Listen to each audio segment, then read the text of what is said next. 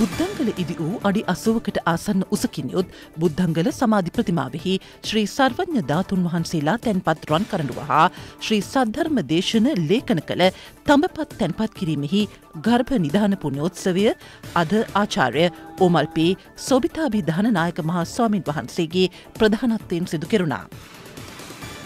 ත්‍රිරෝධ රථයකින් පැමිණි පුද්ගලයින් දෙදෙනෙකු රාජකිරිය ඔබෙස්සේකරපුර ප්‍රදේශයේ උකස් මධ්‍යස්ථානයක් කොල්ලකෑමට උත්සා කොට එය ව්‍යර්ථ වීමෙන් පසු නාවල ප්‍රදේශයේ පිහිටි ගොඩනගරි ද්‍රව්‍ය අලවි මධ්‍යස්ථානයක් කඩා බාණ්ඩ සොරාකන්න අයුරු CCTV කැමරාවක මෙලෙස සටහන්ව තිබුණා.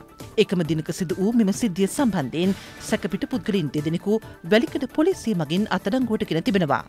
පසුගිය දාහතරවිනිදා කුරුණෑගල මත්පැන් අලිවිසලකදී තරුණයකු තවත් පුද්ගලෙකුට පහර දෙන දර්ශන CCTV කැමරාවක මෙලෙස සටහන්ව තිබුණා. එදිනම සවස කුරුණෑගල විල්කොඩ ප්‍රදේශයේදී පහරකෑ පුද්ගලයාට තවත් පුද්ගලයෙකු විසින් සිදු කළ පහරදීමකදී ඇද වැටී රෝහල්කත කිරීමෙන් අනතුරුව ඔහු මිය ගොස් තිබෙනවා.